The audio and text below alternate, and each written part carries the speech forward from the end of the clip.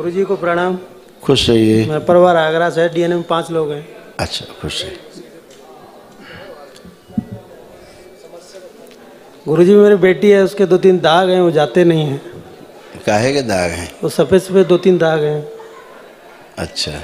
बेटा है वो हमेशा नेगेटिव सोचता है। और मेरी पत्नी है निगेटिव तो सभी लोग सोचते हैं। ऐसा कौन आदमी छो- छोटा ही है गुरु जी छोटा ही है दस ग्यारह साल का हमेशा नेगेटिव सोचता है। हाँ वो ठीक बात है वो अच्छा नहीं है। और पत्नी है उसके दो हफ़्ते पहले कुछ मल से ब्लड आ गया था। आप किसके लिए मुख्य रूप से आए हैं? मुख्य रूप से बेटी के लिए आया हूँ। बेटी के लिए? जी। कहाँ है कहाँ है बेटी? ये चश्मा लगा खड़ी है बच्ची? क्या और छोटी वाली? दूसरी वाली है छोटी वाली। दो बेटी हैं दोनों आई हैं। कहाँ है छोटी? इसको अंदर बुलाओ। छोटी वाली को अंदर बुलाओ। बेटा आ तो।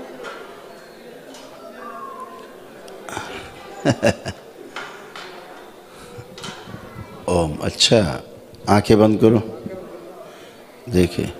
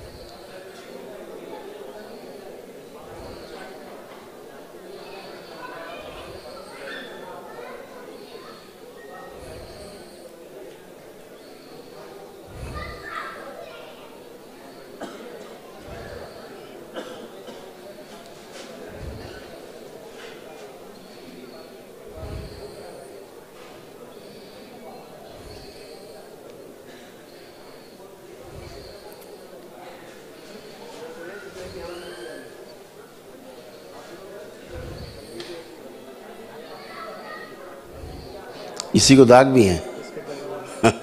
आँख खोल लो। इसको क्या है? जब से जन्म लिया तो इसको से दवा इस, खा रही इसको क्या समस्या है? जी। इसकी स्मृति कमज़ोर हो जाती है। जी। ये चीज़ें भूल जाती है। हम्म? भूलती हो भूल जाती हो और भूलने के कारण ये ज़्यादा बेचारी डिप्रेस हो जाती है।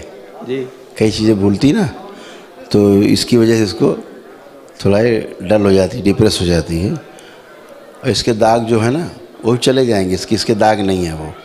वो आप गंगा जल का इस्तेमाल करेंगे चले जाएँगे। दूसरा इसके इधर छाती में इसको कष्ट होता है जी।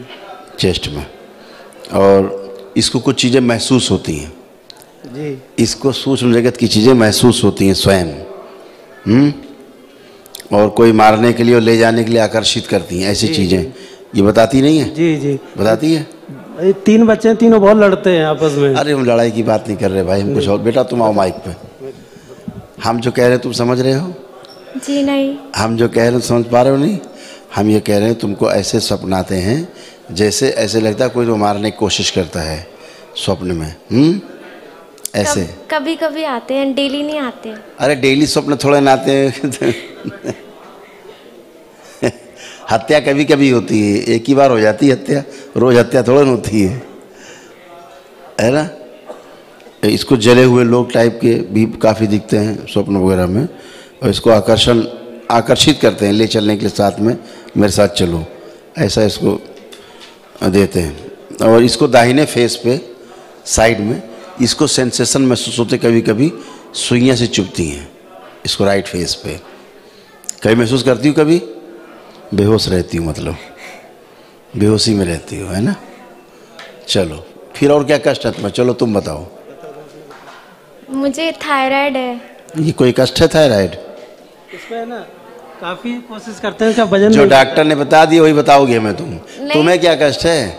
मतलब मैं मोटी नहीं हो पा रही हूँ। ये देखिए ये मोटी नहीं पा रही कष्ट है इनका।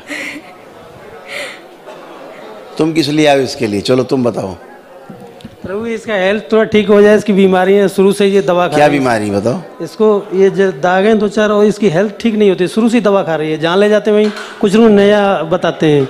जहाँ भी आज तक ले गए हैं जहाँ भी डॉक्टर के पास इसके पास ले गए हैं कुछ लोग नया बताते रहते हैं। चलो ठीक है सब अच्छे हो जाओगे तुम लोग असल में बेहोशी में हो। तुम लोग यही नहीं पता है तीनों में एक ही समस्या इनके परदादा सबको परेशान करता है हाँ। सही है। वो ठीक है सब अच्छे हो जाओगे। तुम्हारे पितर तुम्हारी सबसे बड़ी समस्या है। जी। इसके साथ गंदी गंदी हरकतें करते हैं इसको पता ही नहीं है। अब बोलना नहीं चाह रहे हैं हम उस चीज़ को? जी जी। बहुत ज़्यादा आगे। जी जी। वो इतना ही पर्याप्त है कि इसको यहाँ ब्रेस्ट में भी पेन होते हैं। जी जी। कसाव होता है इसको चेस्ट में। वो सब हरकतों का कारण होता है। पत्नी के भी यही है पत्नी भी बोलती है दर्द हो रहा है दर्द हो रहा है। वो एक ही स्मृति है बेटा वाइफ के दर्द होते हैं ब्रेस्ट में सबके वो एक ही स्मृति है। वो सब में घूमती है। वो है तुम्हारा परदादा है। जी। वो क्या बोले उसके लिए? तुम्हारा परदादा है बड़ा सुंदर है वो। ठीक है? चलो अच्छे हो जाओगे चलो। खुश रहो। जय जय राधा रमण हरि ओम